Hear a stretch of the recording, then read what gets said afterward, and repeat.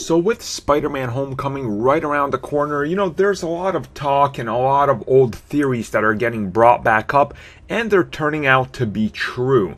Now there's one theory that I believe a lot of people, including here at the CBC, the moment we saw the casting, we started speculating on where and what direction this could go in.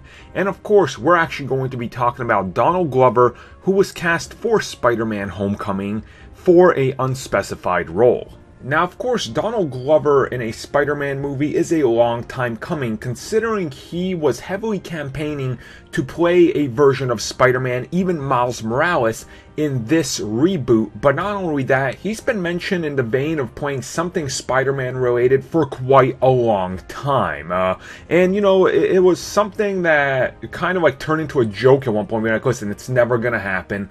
Well, now there is confirmation that he is actually playing a Spider Man related character. So, what we know is that Aaron Davis is the character he is playing.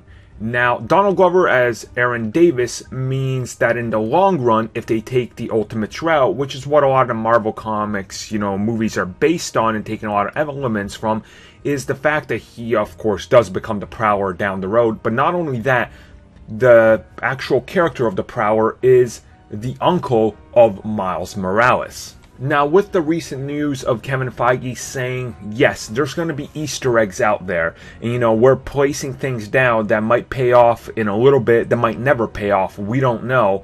But yes, Miles Morales exists in this world. Now, the fact we have Aaron Davis, who is his uncle, kind of lends more credence to the fact that we're probably going to see Miles Morales somewhere down the road. Who knows if it's five years from now, 10 years from now, but they're laying the groundworks and casting actors in these roles who can grow into them.